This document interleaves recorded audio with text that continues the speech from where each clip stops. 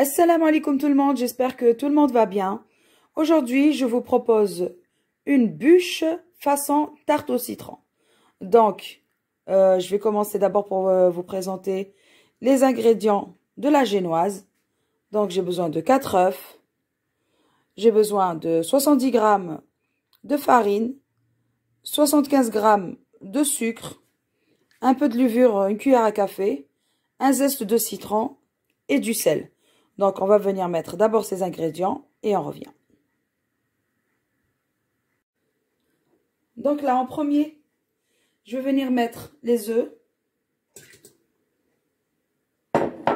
une pincée de sel, les 75 g de sucre et mon zeste de citron que j'ai râpé. Voilà. Voilà, on va d'abord commencer par mélanger ces ingrédients jusqu'à ce que ça devienne une mousse. Et après, on va intégrer la farine et la levure.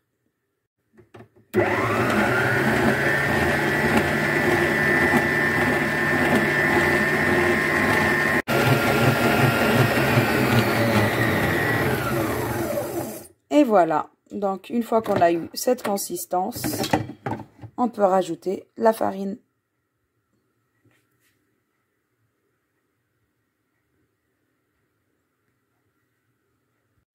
On va, venir mettre déjà deux cuillères de farine. Voilà.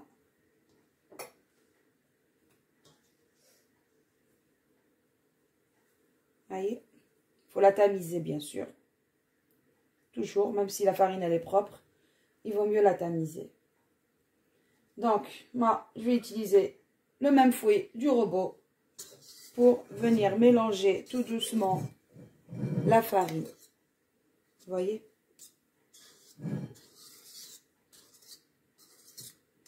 Voilà, faut pas trop, trop euh, fouetter trop fort pour laisser garder cette mousse. Voilà, voyez? Donc, pareil, là, je vais mettre le reste de la farine et juste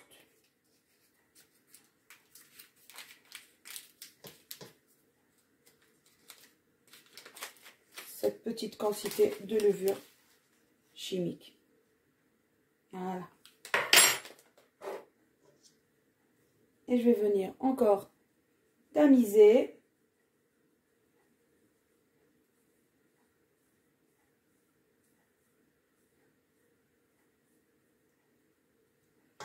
Voilà. Toujours avec le même fouet. Vous voyez? Juste soulever tout doucement.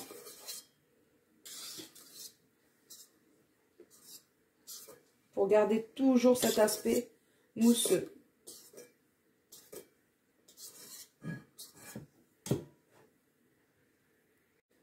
Voilà, donc avec une marise, je vais venir racler bien le fond pour voir si...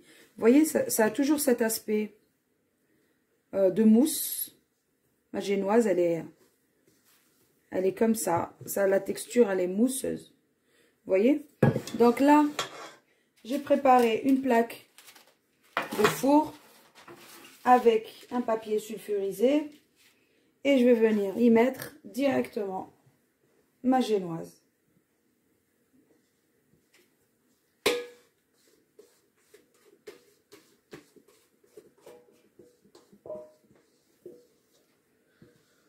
Elle est très belle. La génoise avec euh, le zeste de citron. Ça sent super bon. Voilà. Là, avec une spatule, je vais venir bien étaler ma génoise dans tout le plateau.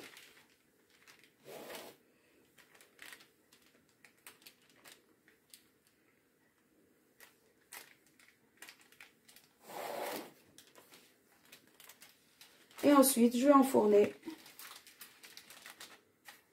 pendant 10 minutes pas plus. Faut pas laisser la génoise euh, cramer. Pour qu'elle ait cet aspect moelleux, toujours. Voilà, je vais essayer d'égaliser et je reviens. Donc là, j'ai bien bien égalisé. Je vais venir tapoter un peu comme ça. Et ensuite, je vais enfourner. Voilà.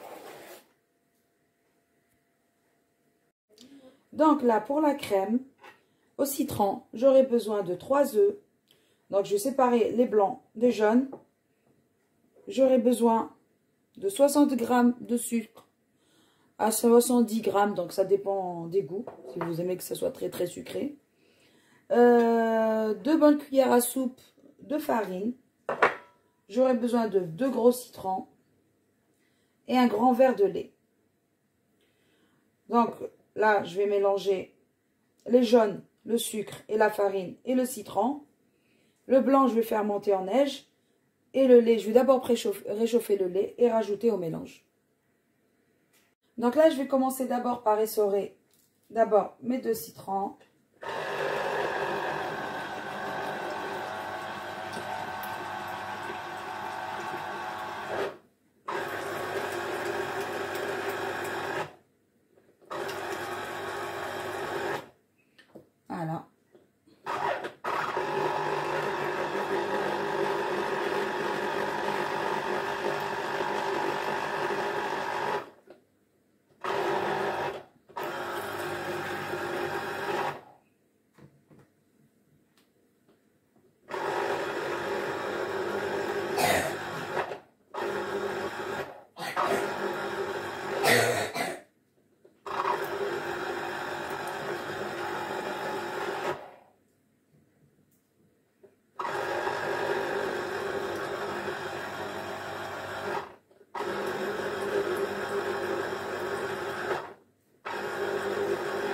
Voilà.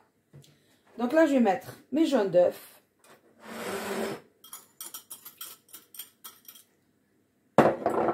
Le sucre.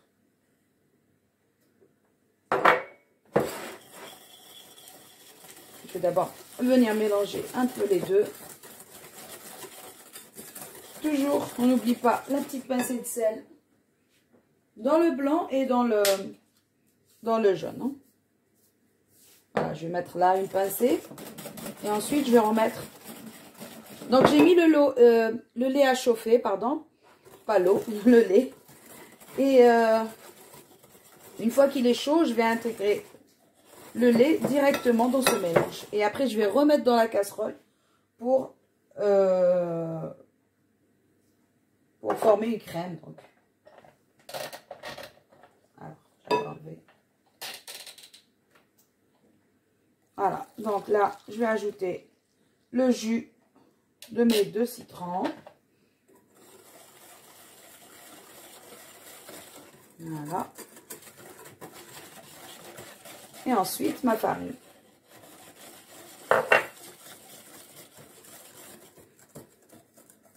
Donc, euh, je disais, si vous voyez que c'est pas assez sucré, vous pouvez rajouter du sucre. Donc voilà, le mot que je cherchais, c'est qu'on va remettre dans la casserole pour épaissir. Voilà. Voilà. Donc je vais voir si mon lait est chaud et je reviens. Voilà, notre génoise est déjà cuite. Voyez, donc je vais prendre un tourchon, je vais le mouiller. Et là, je vais reprendre ma génoise. Je vais prendre un papier sulfurisé. Voilà.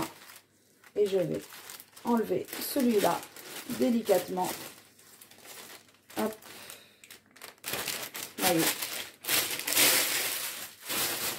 Voilà, ça nous fait une très belle génoise. Donc, je vais l'enrouler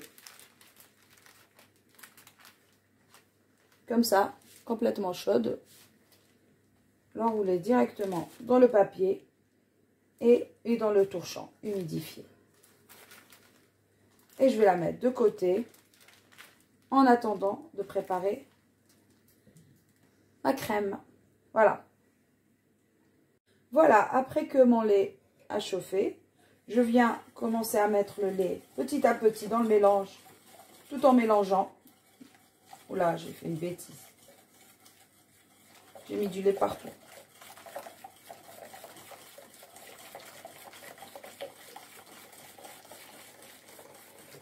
Voilà.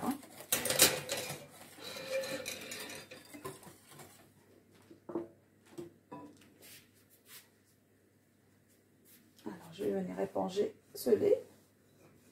Voilà. Voilà. Et là, je vais remettre dans la casserole et le mettre sur le feu pour venir épaissir cette crème au citron.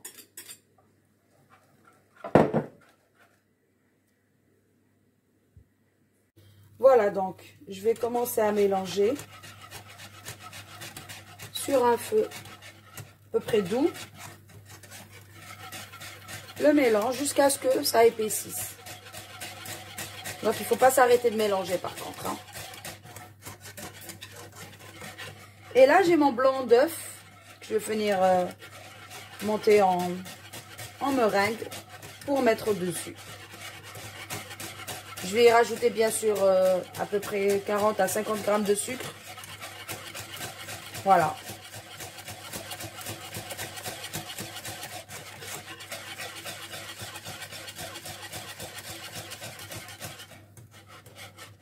Voilà. Une fois que ça a bien épaissi, vous voyez, ça a bien épaissi. Donc, j'ai goûté pour le sucre, c'est bon, ça suffit. Voilà, ça a bien épaissi. Donc, ça suffit. Je vais arrêter le feu. Hop. Je vais attendre que ça refroidisse un petit peu avant d'étaler sur ma génoise. En attendant, je vais faire remonter les blancs en neige, en meringue. Donc, on va rajouter 40 grammes de sucre. À tout de suite. Voilà. Donc là, je vais venir ouvrir ma génoise. Après là, ça va devenir délicat. Parce que la crème, elle est un peu liquide. Voilà. Donc, je vais mettre ma crème au citron à l'intérieur.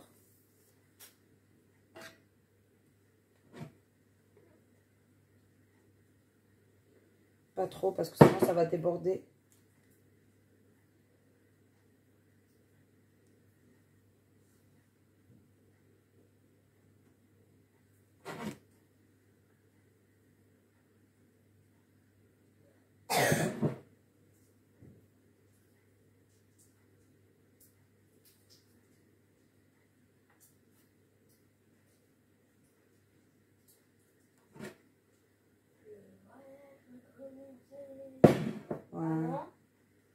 Donc là, on va commencer à enrouler délicatement.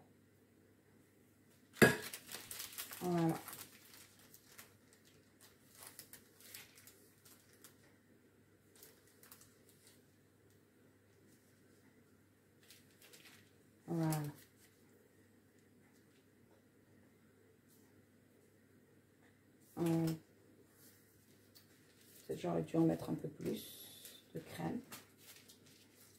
Voilà. Voilà. Donc, je vais venir disposer dans une plaque. Parce qu'on va remettre la bûche dans le four. Pour... Euh, si vous avez un petit chalumeau pour le blanc d'œuf, vous pouvez le mettre directement. Vous pouvez directement flamber directement le blanc d'œuf euh, sur la bûche. Si vous n'avez pas, on va mettre le blanc d'œuf et ensuite on va remettre au four 5 minutes. Donc là, j'ai fait monter mes blancs en neige. Vous voyez Avec un peu de sucre. Ça, donc 40 euh, grammes de sucre. Donc là, je vais venir découper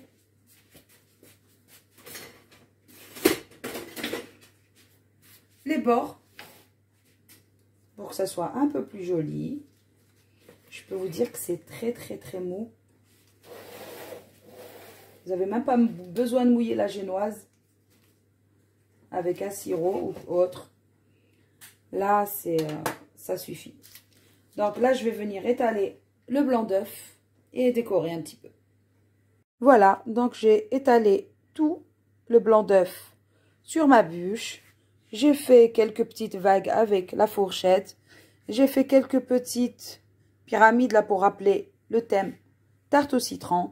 Et moi, j'ai rajouté un peu d'amande effilée là et sur les côtés pour donner un petit côté craquant. Voilà. Donc, je vais venir mettre au four et je reviens. Et voilà notre bûche façon tarte au citron. Voilà. Elle est moelleuse. Donc, il n'y a pas le, le, biscuit là, sablé. C'est une génoise. Donc là, il y a Anis avec moi. Bonjour Anis. Salut. Qui veut... Bon, déjà, il y a le blanc qui est très bon. Mhm. Avec les amandes, mais il veut rajouter quelques trucs. Donc, envie de décorer. On a quelques petites décorations là. On va mettre euh, peut-être du chocolat. Ouais, c'est comme Mais pas beaucoup, hein. Parce que déjà, c'est assez... Ouais, on va essayer de mettre un peu de tout. Attends, il y en a une qui t'a fait tomber. Bah tiens, je te laisse faire. Donc, euh, on va rajouter quelques petites pépites de chocolat. Ah si, j'ai envie de rajouter un peu des étoiles. Alors, donc je vais laisser l'artiste travailler et je vais vous montrer après ce qu'il a fait. Voilà. à tout de suite. À tout de suite. Alice a rajouté sa petite touche personnelle. Donc, il nous a mis un peu des étoiles blanches. Un peu tout. Chocolat blanc. Des petites meringues aussi comme ça. des petites fraises. Des pépites de chocolat. Et fraises. Un peu euh, des petits bouts de vanille, de vanille, on peut dire. Oula. Oh, oula. Donc là, voilà, la petite touche de anis. Ah là, voilà, ma petite touche. Voilà, comme ça. Ça fait plus joli quand même. Ouais, ça fait un peu plus joli. Il y a un peu plus de couleur. Voilà. Donc là, ça tient pas parce que c'est de la meringue. Sinon, on aurait mis, on aurait mis encore un peu plus. Hein. Mm. Voilà. Donc là, on va mettre au frais. on va manger après. Le truc qui est drôle. Surtout les petits bouts, euh, les petites meringues blanches là. Elles sont super En fait, tu vois, le truc qui est drôle, c'est qu'il y a tout. Alors que lui, il y en a, presque, il y en a presque plus déjà. Oui, parce qu'on a, on en a mis beaucoup ici. Voilà. Allez, à tout à l'heure pour la dégustation. Au revoir. Donc là, on va couper une part. En Haute-Savoie comme en Savoie, il faut purger la montagne d'une neige qui n'en finit plus de tomber. Voilà. On a des accumulations dans les pentes et donc euh, les avalanches peuvent partir toutes seules, sans prévenir. À 1850 mètres d'altitude, ces pisteurs secouristes déclenchent des avalanches par précaution sur le fiable des minutes. Vous voyez là le, le roulé avec la crème au citron et tout, la meringue. Bon. Voilà. Donc on a la génoise, la meringue. Ça a l'air trop trop bon. On va goûter. Bien sûr. Vous voyez comment c'est mou. Mmh. Trop bon. Avec cette saveur citron. C'est vraiment excellent. Voilà. Voilà, donc si vous avez aimé, s'il vous plaît, n'oubliez pas de liker et de partager. Et laissez-moi des commentaires. Dites-moi si vous avez aimé cette idée de euh, bûche façon tarte au citron. C'est une idée que j'ai eue. J'ai voulu euh, euh, la partager avec vous. Et voilà. Et je trouve que c'est très très réussi finalement. Voilà. Ben, sur ces images, je vais vous dire, prenez soin de vous. À une prochaine vidéo.